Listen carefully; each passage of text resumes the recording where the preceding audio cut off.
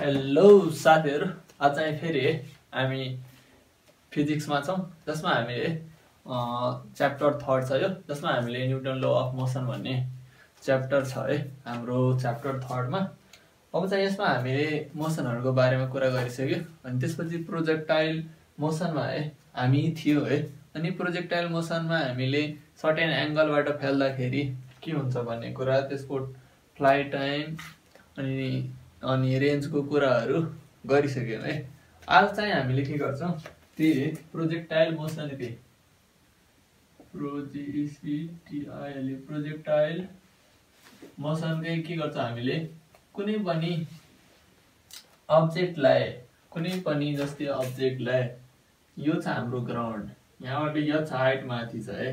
जस्तै कुनै टावर भयो। यहाँबाट हामीले होरेन्जेन्ट होरिजेन्टली यु भेलोसिटीले हामीले फ्यालेको छौँ भने एक्सतिर छ नि यु भेलोसिटीले फ्यालेको छौँ। त्यो बेला हामीलाई के हुन्छ है? हामीले यु भेलोसिटीले फ्याल्यो नि त्यो बेला के हुन्छ भने चाहिँ अब ग्राभिटीको कारणले के हुन्छ? जस्तै यहाँबाट है यसरी फ्याल्यो भने हामी अगाडि गएर यसरी बिस्तारै गएर तलतिर झर्छ। भनेपछि यहाँबाट है बिस्तारै यस्तो आएर तलतिर झर्ने भयो है।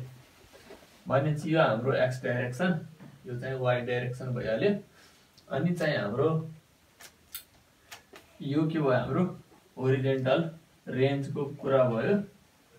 अनि त्यसपछि हाम्रो रेन्ज भयो वाइ भइहाल्यो। त्यसलाई ओ मानिदिनु। अब चाहिँ हामीले फर्स्टमा इक्वेसन है ट्राजेक्टरी है ट्राजेक्टरी इक्वेसन ट्रेजेक्टरी इक्वेसन केलाई भन्छ भन्ने कुरा पहिला बुझ्नु है। जसमा हाम्रो इक्वेसन इज़ नथिङ है। जस, जसमा हाम्रो के टाइम टाइम छ नि। टाइम हुँदैन है। भनेपछि टर्म हुनु भएन एक्स वाइ टर्महरू यहाँ है। एक्स एन्ड वाइ टर्महरू इन्क्लुडेड हुन्छ। नट इन्क्लुड टाइम है। Time term include must be not included in time term है हामी के गर्छ यसमा? पहिला हामी है यसमा पहिला हामीले एक्सतिर है एक्स डाइरेक्सनतिर हेर्नु त। एक्स डाइरेक्सनतिर हेर्नु। अब एक्स डाइरेक्सनतिर हेर्दाखेरि हाम्रो यु युएक्स भयो। युएक्सतिर हाम्रो के छ? भेलोसिटी युले फालिरहेको छौँ है भनेपछि हाम्रो एक्स डाइरेक्सनतिर हामीले अगाडिदेखि पढिरहेको एउटा फर्मुला है यु इजकल टु के छ हाम्रो? डिस्टेन्स बाई टी भनेपछि यसलाई एक्स मानिदिनु त। डाइरेक्सन भनेपछि X is equal to U अनि टी भयो। अनि यो एक्स डाइरेक्सन भएको र एक्स भयो। अनि हाम्रो के भयो? युटी आयो है। एक्स इजकल टु युटी आयो। यहाँबाट के गर्नु? T is equal to X by U find गर्नु। अब चाहिँ तपाईँहरूले के गर्नु? वाइ डाइरेक्सन है डाइरेक्सनतिर जानु। अब वाइ डाइरेक्सन हाम्रो के भयो यतातिर तलतिरको डाइरेक्सन भयो। भनेपछि यहाँ के हुन्छ हाम्रो युवाई छ। हामीले फ्यालेछ यतातिर भनेपछि हाम्रो इनिसियल भ्यालुसिटी यता के हुन्छ हाम्रो? जिरो हुन्छ है। भनेपछि अब यहाँबाट है वाइ डाइरेक्सनमा के गर्नु? भनेपछि हाम्रो के भयो? युवाई इजकल टु जेरो भयो। अब यसमा पनि के गर्नु? भनेपछि हाम्रो हाइटवाला हामीलाई थाहा छ नि। यच चाहे S. S is equal to U T plus half A T square अब चाहिँ यसमा वाइ डाइरेक्सनतिर छ भने यस डिस्टेन्सलाई वाइ मानिदिए अनि यु वाइ डाइरेक्सन छ वाइ मानिदिए अनि टी भइहाल्यो। Plus one by two gravity माथिबाट तल झरेर जान्छ भने पोजिटिभ नै हुन्छ जी हुन्छ अनि यो टी स्क्वायर है अब चाहिँ हाम्रो युवाई त्यहाँ जेरो छ भनेपछि यो जेरो हुन गयो भनेपछि Y is equal to zero zero मैले लेखेँ है जेरो वान बाई टू अनि जी टी स्क्वायर है अब चाहिँ यहाँबाट हाम्रो ट्रेजेक्ट्री इक्वेसनमा के हुन्छ भने चाहिँ हाम्रो टीको टर्म हटाउनु पर्ने कुरा छ। टीको टर्म हटाउनु पर्ने कुरा छ भने चाहिँ Y is equal to one by two अनि जी इन्टु टी स्क्वायर छ भने टीको ठाउँमा हामीले X square by U square गऱ्यो। भने चाहिँ हाम्रो के भयो यो? G X square divide by two U square भयो है वाइ इजकल टु यु हाम्रो भयो ट्रेजेक्ट्री इक्वेसन है मैले यसलाई इक्वेसन फर्स्ट लेखिदिएँ। अब चाहिँ तपाईँहरूले अब फ्लाइट एफएलआइजिएसटी फ्लाइट टाइमको कुरा गर्नु। फ्लाइट टाइम यो फ्लाइट टाइमको कुरा गर्दाखेरि यसमा पनि है के गर्नु भने चाहिँ हामीलाई के थाहा छ भने चाहिँ यो कति छ? हाइट एचमा छ है। भने चाहिँ यहाँ के गर्नु? H is equal to H is equal to U T U T अनि plus half A T square है। भनेपछि हाम्रो युवाई डाइरेक्सनको छ अनि यु त्यतिकै जेरो भइहाल्यो। भनेपछि एच इजकल टु हाम्रो के भयो? हाफ अनि एटी स्क्वायर अनि अनि हाम्रो यो टु यता जान्छ भने टु एच अनि एको ठाउँ तपाईँहरूले जी लेख्नु है किनभने ग्राभिटीको कुराहरू भइरहेछ जी लेख्नु एक्सक्लेसनको ठाउँमा अनि जी भयो अनि इजकल टु यो टी स्क्वायर बाँकी बस्यो अनि टी इजकल टु हाम्रो के हुन्छ root under two H by G हुन्छ है। यसरी चाहिँ हामीले यो चाहिँ सेकेन्ड भयो है। यो भन्छ के छ हाम्रो मस्ट इम्पोर्टेन्ट नै छ है। अनि एउटा यो ट्रेजेक्ट्री क्वेसन यो पनि मस्ट इम्पोर्टेन्ट मैले स्टार लगाइदिएँ। अब चाहिँ तपाईँहरूले ओ रेन्जको कुरा गरौँ है। रेन्जको ओरिजेन्टल रेन्ज ए आरएएनजिई यसलाई के आरले डिनोट गर्नु है।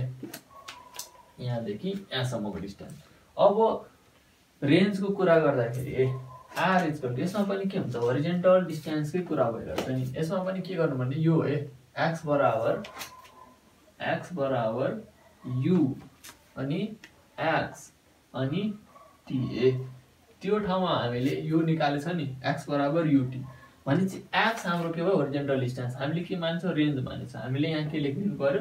आर ए आर लेखिदिनु। अनि हाम्रो यु कति छ? यु एक्स हाम्रो कति छ? यु छ है यु एक्स हाम्रो यु छ। अनि टाइम टी भयो भनेपछि यु अनि हाम्रो टीको भ्यालु हेर्नु त यहाँ आइसकेको छ। भनेपछि हाम्रो यहाँ root under two H by G हुने भयो है हाम्रो यो रेन्जको फर्मुला ओरिजेन्टल रेन्ज पत्ता लगाउने फर्मुला आइसक्यो। जस्तै अब यहाँबाट भेलोसिटी ड्रप हुँदै आउ आज है यहाँ त सर्टेन एङ्गलमा त्यो भेलोसिटी ड्रप होला। यहाँ त जस्तै यहाँ सर्टेन एङ्गलमा भेलोसिटी ड्रप होला बिस्तारै झर्दैछ भनेपछि यहाँ है अनि यो हाम्रो यो यो बिटा छ भने यो बिटा एङ्गलमा तल झरेछ भने यो भी भयो भने यो हाम्रो के भयो? भिएक्स भयो अनि भिवाई भयो। अब चाहिँ यो है एनी पोइन्टको कुरा गरौँ त। एनी पोइन्टमा है जब कुनै पोइन्टमा यो हाम्रो के भयो? यहाँ यस्तो बढाइदियो भने यो चाहिँ हाम्रो एक्स डाइरेक्सन यो चाहिँ एक्स भयो यो चाहिँ के भयो यो चाहिँ एक्स भयो यो चाहिँ हाम्रो वाइ छ है। भनेपछि यो माथितिर छ वाइ छ है ठिक छ। अब चाहिँ एनी पोइन्ट जस्तै यहाँ हाम्रो पोइन्ट यो हेर्नु त पहिला भिएक्सको कुरा गर्नु त हाम्रो भिएक्स कति छ? यु छ है माथिबाट है। किनभने यतातिर गए जति पनि होरिजेन्टलतिरको फोर्सहरू सबै हामीले युले फ्यालेछ। युले कुनै अब्जेक्टलाई फ्याल्यो। यदि ग्राभिटेसनल फोर्स छैन भने युले अगाडि नै गइरहेछ है। त्यो भन्ने कुरा बुझ्नु पऱ्यो भनेपछि युएक्स हाम्रो यु नै छ भन्ने बुझ्नु पऱ्यो अब चाहिँ भिएक्स है। V X is equal to U. ठिक छ।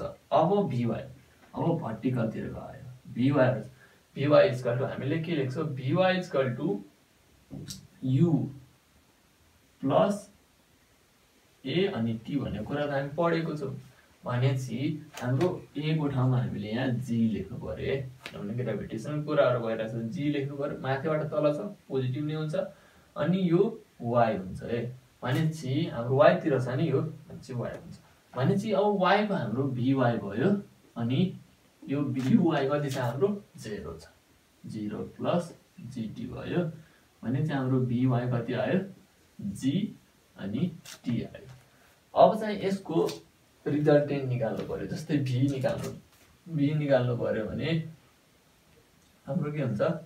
रुट अन्डर बिएक्सको स्क्वायर प्लस भिवाईको स्क्वायर है रिजल्टेन्ट निकाल्ने बेला है यहाँ रिजल्टेन्ट लेख्नु।